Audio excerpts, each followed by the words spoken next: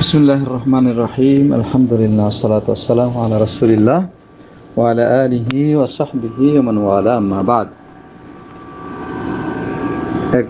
প্রশ্ন লিখেছেন যে, কোনো স্বামী বিশ বছর যাবৎ বিভিন্ন মহিলার সাথে ব্যবিচারে লিপ্ত, স্ত্রী দিনদার, তাই এই দীর্ঘ সময় শুধু আল্লাহর কাছে সাহায্য ধৈর্য ধারণ করেছেন আর বিনিময়ে পেয়েছেন মারধর বাসা থেকে বের করে দেওয়া, দূরে ফেলে রাখা, বিভিন্ন ধরনের জুলুম করেছেন।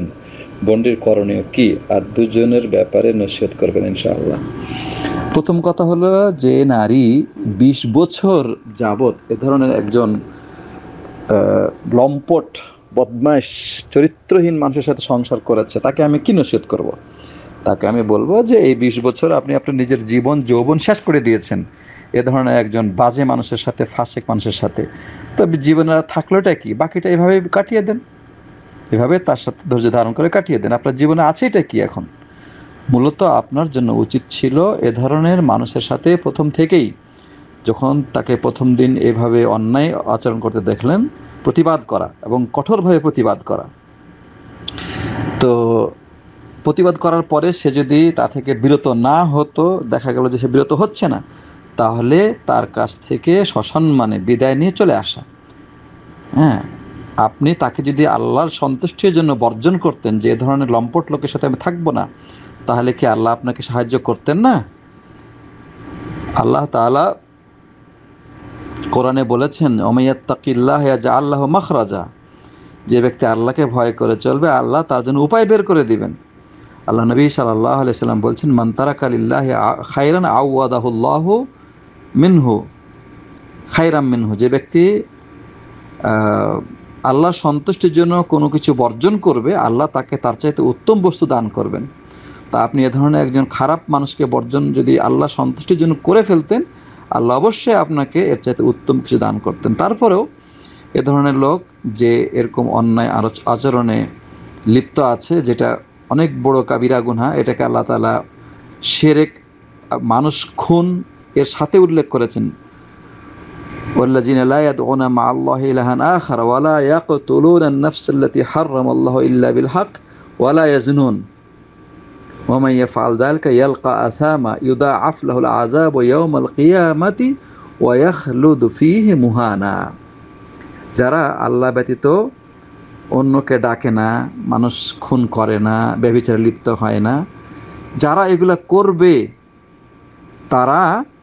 অনেক বড় অপরাধে লিপ্ত হবে এবং তাদেরকে কঠিন লাঞ্ছনাদায়ক শাস্তির সম্মুখীন করা হবে এবং তারা জাহান নামে চিরকাল থাকবে।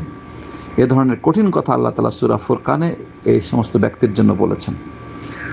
তো সুতরাং সে যদি প্রকৃতভাবে খাঁটিভাবে তৌবা করে ফিরে না আসে, আপনার জন্য এখনও উচিত হলো যে আপনি তার কাছ থেকে দূরে সরে যাওয়া। এবং আপনার ভবিষ্যতের বিষয়টা আপনি আল্লাহর উপর ছেড়ে দেবেন। আমাদের দেশের নারীরা এতই সরল এবং এতই অসহায় যে এ ধরনের জুলুম অত্যাচারের ভিতরেও সে নিজেকে কন্ট্রোল করে রাখে যে আমি যদি এর কাছ থেকে ছেড়ে চলে যাই বা আমি তালাক নিয়ে চলে যাই, তাহলে হয়তো আমার বিয়ে হবে না, আমার কোনো রুজি রুটির ব্যবস্থা হবে না, আমার কোনো আশ্রয় জায়গা হবে না ইত্যাদি কারণে মেয়েরা এ ধরনের অন্যায়, অনাচারকে মেনে নিয়েও থেকে যায়। এটা কখনোই উচিত নয়। আপনি যদি আল্লাহ এবং তার রাসুলকে চরিত্র এবং দিনদারিতাকে প্রাধান্য দেন, তাহলে আল্লাহ আপনাকে কখনোই নস্বাত করবেন না, ফেলে দিবেন না। তো যাই হোক আমি নসিহত করব যে আপনি তাকে চূড়ান্ত ই দিবেন আলটিমেটাম দিবেন। সে যদি সংশোধন হয়ে ফিরে আসে তোবা করে, তো ভালো। আর না হলে আপনি তার সাথে, তার থেকে সম্পর্ক ছিন্ন করে আপনি নিজের রাস্তায় আপনি চলে আসবেন। আল্লাহ আপনাকে তফি দান করুন আমি